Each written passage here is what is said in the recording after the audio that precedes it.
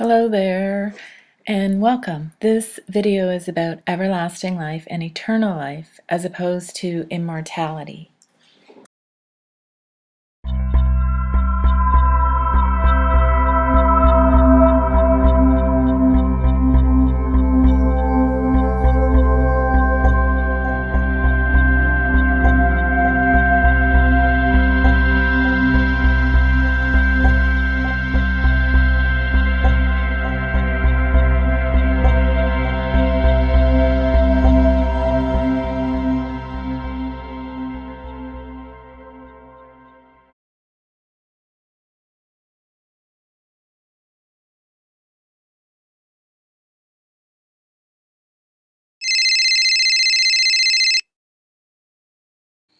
The divinely bestowed gift of blessedness in God's presence that endures without end. This relates especially to the quality of life in this age and to both the quality and duration of life in the age to come. The key to understanding the biblical meaning of these terms is the Bible's use of the word eternal. The Old Testament teaching, God is eternal, in Deuteronomy 33:27, in Psalm 10:16 and 48:14. Scripture does not provide philosophical reflection on this fact, but assumes it. The Lord is the rock eternal, as in Isaiah 26:4, and the eternal King, as in Jeremiah 10:10. God's word, rooted in his being and will, is likewise eternal, as in Psalm 119:89, as are his righteous laws, Psalm 119:60, his ways, Hab 3:6, and his kingdom or dominion, Daniel 4:3, Daniel 4:34. Since God is eternal, so are his love, 1 Kings 10:9. His blessings, Psalm 21:6, and all other attributes and benefits. They endure without end. As long as God exists, so do they. His love endures forever, in quotes, is repeated 26 times in Psalm 136 alone. Elsewhere in the Psalms, quote, forever, end of quotes, is used to describe God's reign, 9 7, his protection, 12 7, his plans, 33 11, the inheritance of his people, 37 18, his throne, 55 19, his rule, 66 7, his remembrance of his covenant, 105 8, his righteousness, 111.3, his faithfulness, 117.2, his statutes, Psalms 119, 111, Psalms 119, 152, and his name, 135.13. But who is God really, you might be asking? So let's take a deeper look at that now.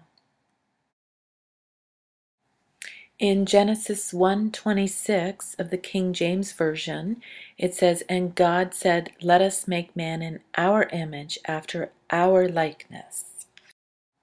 So it's really important to notice how it says our instead of in my image. So God is plural. So if we look at the Blue Letter Bible, Genesis 1:26 again, where it says, And God said, Let us make man in our image after our likeness, we'll notice that God, according to Strong's Concordance, is H430. Now let's take a look at what H430 means exactly. Strong's H430, entry 1. Eloach. Eloach. Second entry. Elohim, Elohim. And the third entry, Eloach, Eloach. So expanding on Elohim, number one plural in number, it means rulers, judges, either as divine representatives at sacred places or as reflecting divine majesty and power. So, does that mean that God was creating us in the image of angels, divine ones, rulers and judges, gods and goddesses, just like God Himself? Uh, I guess that is the million dollar question.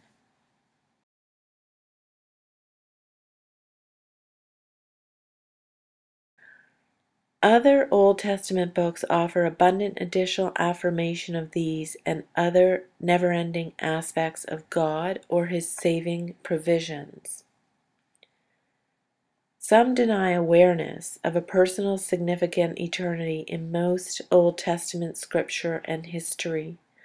A prominent segment of modern biblical scholarship would concur that in Israel there was no belief in life after death.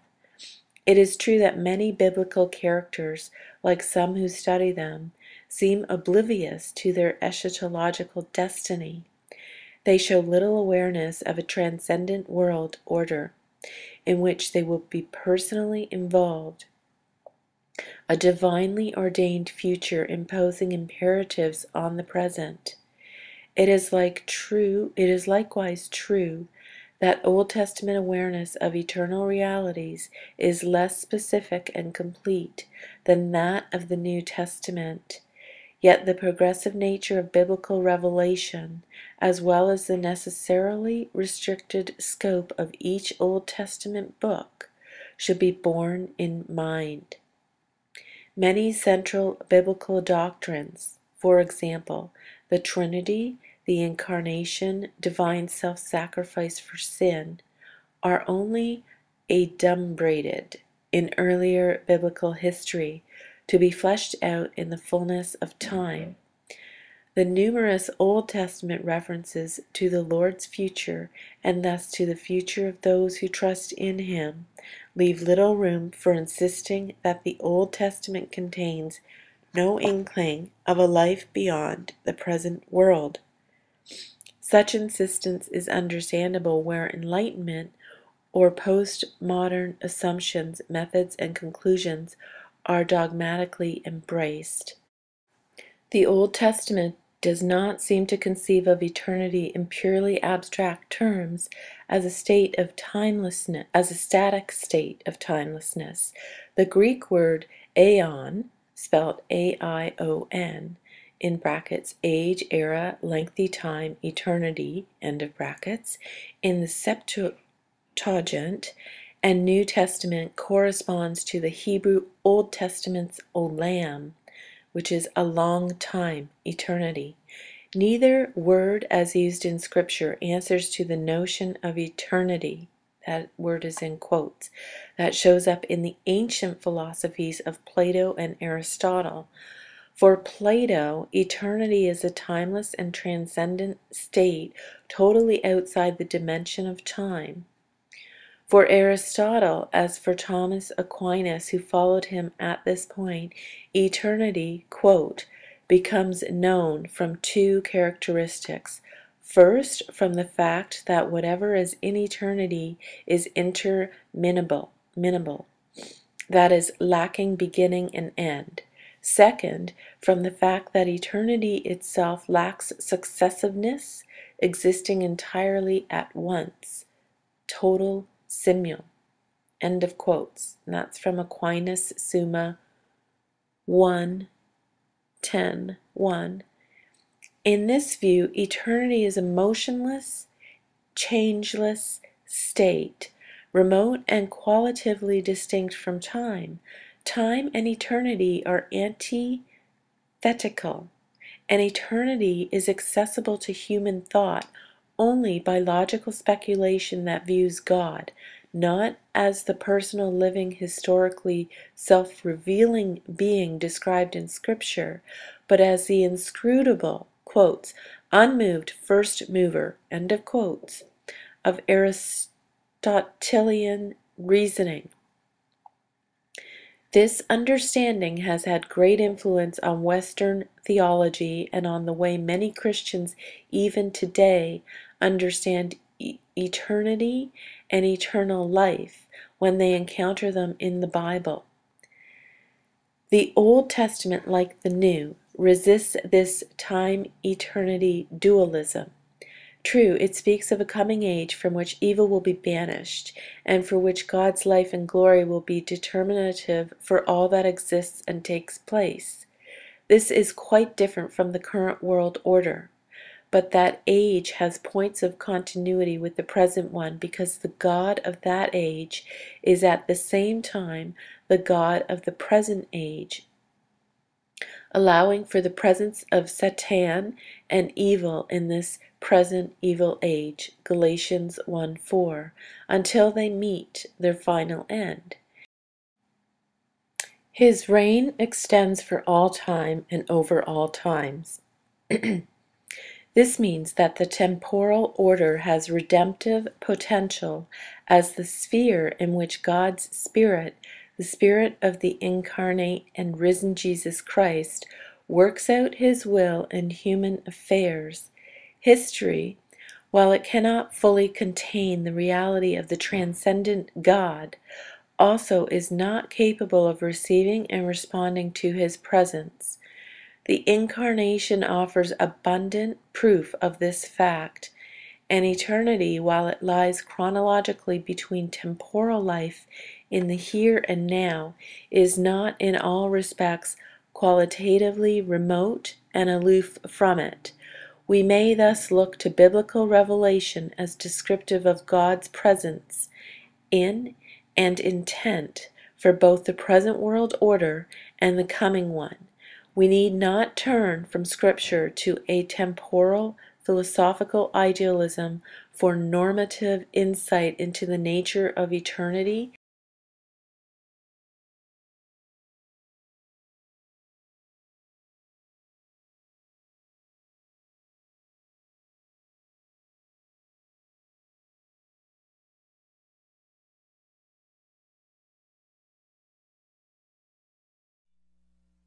Central Park intrusion zone.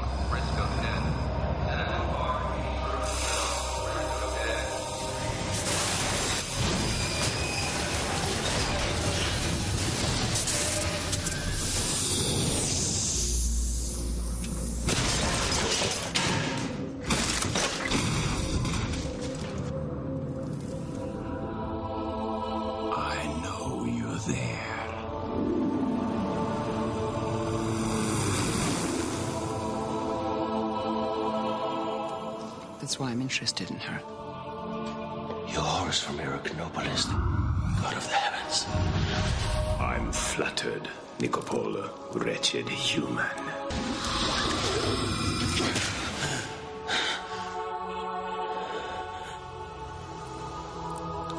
You're the greatest mystery of nature I've ever come across. Some of the vertebrate animals on this planet shed their skin. You are going through the same process. Young women like her are rare, extremely rare. Rare, extremely rare. There are only a few of them in the entire universe.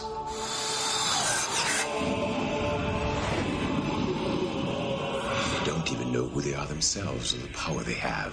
You're going to need someone to take you home. What, what, what power? The greatest power of all.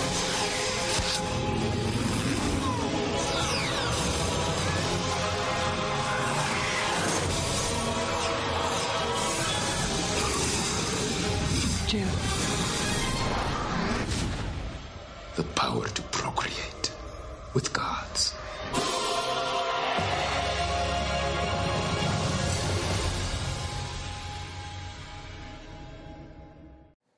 Okay, so the creator of that movie is named Enki, and Enki is also a Sumerian god who sits on a cube, which is known as Saturn, basically, which is, uh, well, it's not good. It's a cube is confining and restricting, and it's what keeps us in this world instead of um, spiraling into our most godlike self, etc., etc.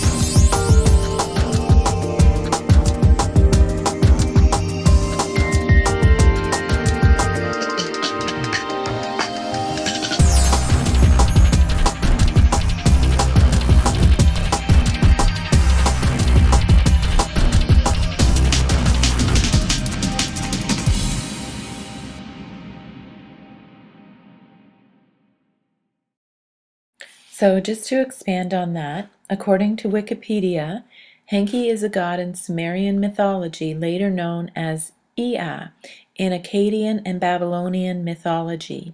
He was originally patron god of the city of Eridu, but later the influence of his cult spread throughout. Throughout Mesopotamia and to the Canaanites, Hittites, and Hurrians. So here's some of the artwork I found by Enki Bilal, the um, movie director of Immortal. Kind of interesting and pretty scary, to say the least.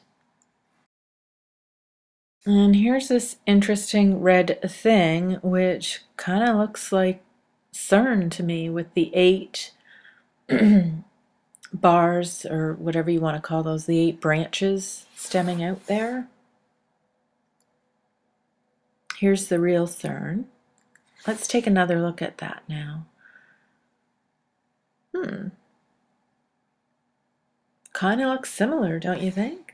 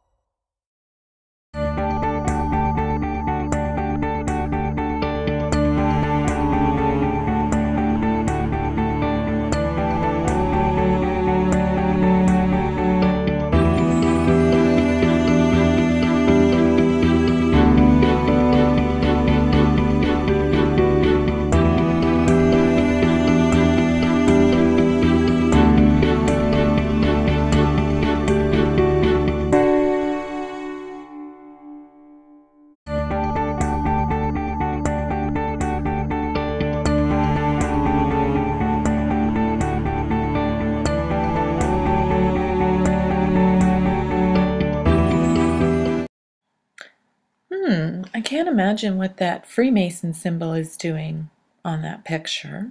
It's interesting.